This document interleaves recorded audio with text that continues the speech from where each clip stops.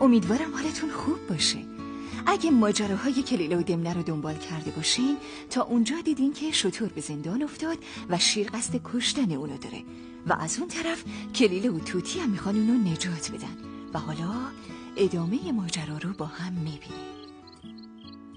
خب امیدوارم دیشب خوب خوابیده باشی از اون خوابای شیرین که دوست نداری بیداشی بگو شطور جان خوب خوابیدی؟ خب مگه تونستم از حول و حراس یه لحظه چشامو ببندم؟ فقط نیم ساعت خوابم برد که اونم یه خواب خیلی وحشتناک دیدم دست و پام هنوزم که هنوزه میلرزه. دیگه نتونستم بخوابم. خب تعریف کن ببینم چه خوابی دیدی. خب می‌دونید دوستان با این خوابی که دیدم حتی حاضر نیستم یه لحظه دیگم توی این جنگل زندگی کنم. چون میترسم میترسم خوابم تعبیر بشه. آخه خوابم خیلی وحشتناک بود. تعریف کن ببینیم چه خوابی دیدی. تو که ما رو نصف جون کردی. خیلی خوب. خواب دیدم که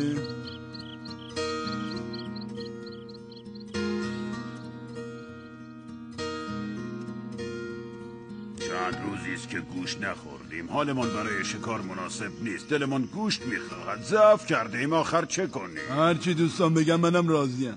دوستان این بی انصافیه. ما یک کم سر سفره جناب شیر غذا خوردیم. حالا همینجوری دست رو دست بزنیم و تماشا کنیم که سلطان ضعیف بشه. باید یه فکری بکنیم تا محبت های جناب شیر رو تلافی کنیم. باید جانساری کرد. بله ولی وقتی ما دستمون از هر کاری کوتاهه باید جان ناقابلمون رو پیشکش جناب شیر کنیم. بنده حقیر با این بدن لاغر و نحیفم حاضرم جان خود را نثار کنم. سر و جانم به فدای آفرین آفرین. آخه گوش تلخ تو به چه درد ما می‌خوره ها؟ شاعر فدای سلطان این جان فدای جانان جانم فدایت ای جان جانم فدایت قربان. بازم شروع کرد. اه، دوستان اجازه بدید. منم حاضرم هر لحظه ای که جناب شیر اراده کنن جان بیمقدارم را هدیه کنم. چه کسی بهتر از من؟ در خدمتم. دمنه. میگم که جناب شطور شما حرفی نداریم به جناب شیر بزنین. شما که اجازه نمی‌دید من حرف بزنم. منم اگه جناب شیر بخوان تو حاضرم نه جناب شطور هنوز مهمان ما هستی و تازه به اینجا آمدی. درسته که من تازه مهمون شما شدم اما باید بگم که چی شد؟ شطور عزیز قصه گو چیزی می‌خواستی بگی؟ خجالت نکش. بگو جانم بگو. جانم به فدایت ای شیر عزیز می‌خوام بگم درسته که سابقه روبا و خرس در دوستی با شما از من بیشتره. اما همه اینا گوشتشون تلخ و بدمزه است. از آدمی زادم اگه بپرسید هیچ کس گوشت اینا رو نمی‌خوره قربان. آفرین به شطور واقعا که حرف حسابی زند درسته جناب سلطان.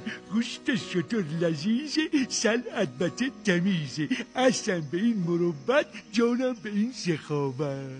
صبر کنید ببینم. حالا ما یه چیزی گفتیم. دلیل نمیشه که شما سو استفاده بکنید. ساکوت ایفه روی حرف شما دیگه کسی حرفی بزنه. نظر شما چیه سلطان بزرگ؟ هرچی امر بفرمایید بنده اطاعت خواهم کرده. باشه. حالا چون اصرار می‌کنید بهتر همین شطور عزیز و نوش جان کنیم. چون من از گرسنگی دارم ضعف می‌کنم. خودم کردم که لعنت بر خودم.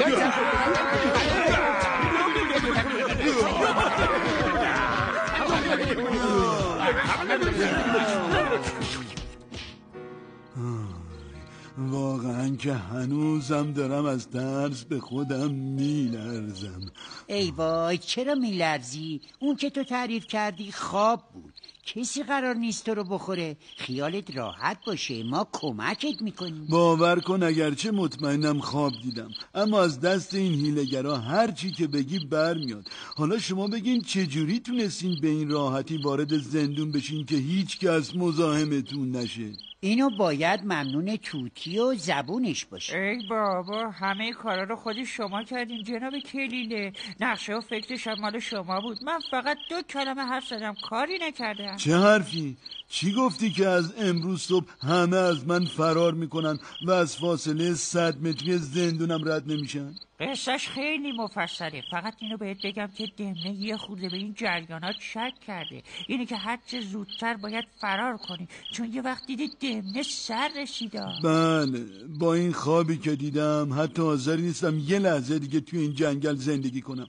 دست شما درد نکنه. حاضرم هر جوری بتونم تلافی ای کنم. بابا این حرفا رو نزن. فقط قول بده که برگردی پیش صاحبه مطمئن باش اونجا می‌تونی خوابای خوب ببینی. حالا بذار این زنجیر رو از پات باز کنی.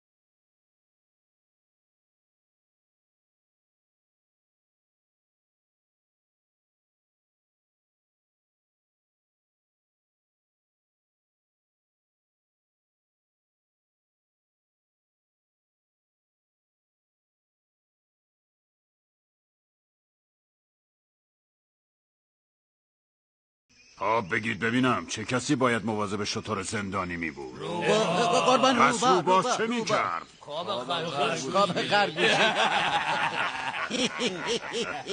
قربان از وقتی همه شنیدن که مرض شطور مصریه از ترس جونشون حاضر نبودن حتی از یه فرسنگی زندون رد بشن. تو هم که جرأت نداشتی نگهبانی بدی راحت گرفتی خوابیدی باور کنین راحت نبودم. خیلی هم بد خوابیدم جون شما. ده پونزده تایی هم کابوس وحشتناک دیدم. نمی‌دونین چه خوابایی وحشتناکی بود. از طرفی هم باید بگم که بیشتر از این یاوه بافی نکن خوب تو رو می‌شناسم. بنده ارزی داشتم قربان.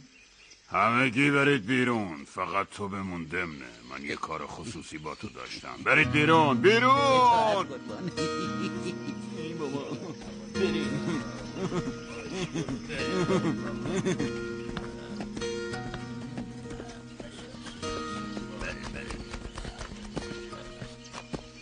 بگو. راستشو بخواین از یک نظر خیلی خوب شد که شطور فرار کرد.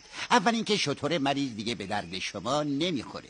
دوم اینکه شما دلتون راضی نمیشه اون بیچاره رو بکشید. اگه بد میگم بگید بد گفتم. ای گفتی حرف دلمو زدی. مزد اون همه قصه های خوبی که تعریف کردی نبود که زندانی بشه. همش تقصیر اون خرس شکم گنده بود.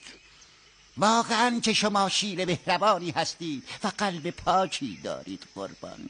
دمنه تو مشاور ما هستی. من فهمیدم که خرس و روبا کاسه زیر نیم کاسه دارن. تو هم باید مطمئن باشی من بعد از خودم به هیچ کس بیشتر از تو اعتماد ندارم. خیلی ممنون و سپاسگزارم. اما من امروز آزم خونه پسر خالم گراز چی هستم؟ پس به سلامتی امشب شام افتادید قربان. بله بله فکر می‌کنم تدارک مفصلی برای ما دیده. از این سفر که اومدم باید با هم بشینیم و یه فکری بکنیم. چشم حتما قربان. در خدمتگذاری روی بنده کاملا حساب کنید. من خیلی بی سر و صدا میرم. اگه کسی نفهمه کجا هستم هیچ اتفاقی نمیافته. فعلا خدا حافظ به کسی چیزی نگو. به خدا سلامت نگهدار. قربان. شیر دربار رو ترک کرد تا پیش گراز وحشی بره. اما نمی‌دونه چه چیزی در انتظارشه. در قسمت بعد ادامه داستان رو می‌بینیم. پس تا برنامه بعد خدا نگهدار.